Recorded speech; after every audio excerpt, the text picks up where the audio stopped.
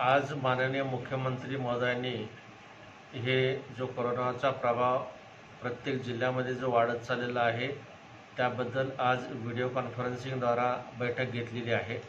आणि आज या जिल्हास्तरीय समितीची मी बैठक घेतलेली आहे. त्यामध्ये superintendent of police civil surgeon D H O हे सगळेच अधिकारी उपस्थित होते. मनपा आयुक्त देखील उपस्थित होते. जे आम्ही ॲनालिसिस केलेलं आहे की लग्न समारंभ फार मोठ्या प्रमाणामध्ये अहमदनगर शहरात आणि जिल्ह्यात होत आहेत.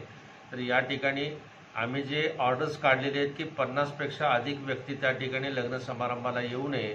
मात्र बऱ्याच ठिकाणी व्हायलेशन चालू आहेत तर एस पींच्या मार्फत जे आहेत की आम्ही असं आयडेंटिफाय केलेलं आहे की आठ मार्च ते चौदा मार्च या कालावधीमध्ये साधारणतः चव्वेचाळीस ठिकाणी लग्न आहेत.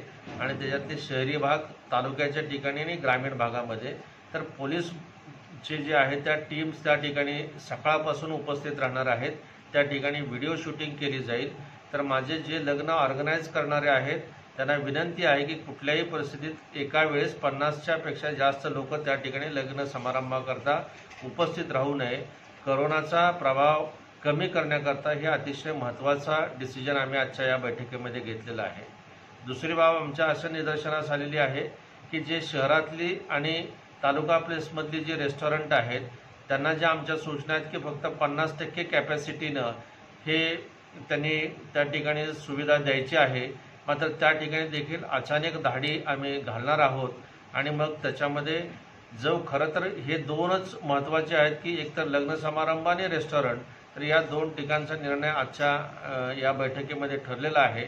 शाळेबद्दलचं जे आहे शाळा सुरू ठेवायच्या का न ठेवायच्या याबाबत आम्ही सिव्हिल सर्जनच्या अध्यक्षतेखाली समिती गठीत केलेली आहे आणि त्यांच्यामार्फत त्याचा डिसिजन आम्ही येत्या तीन दिवसामध्ये घेणार आहेत.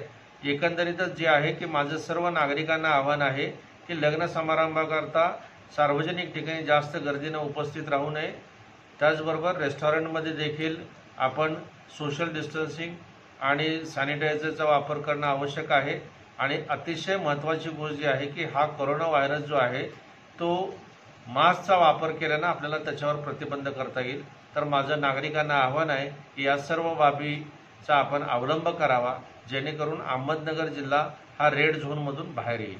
धन्यवाद.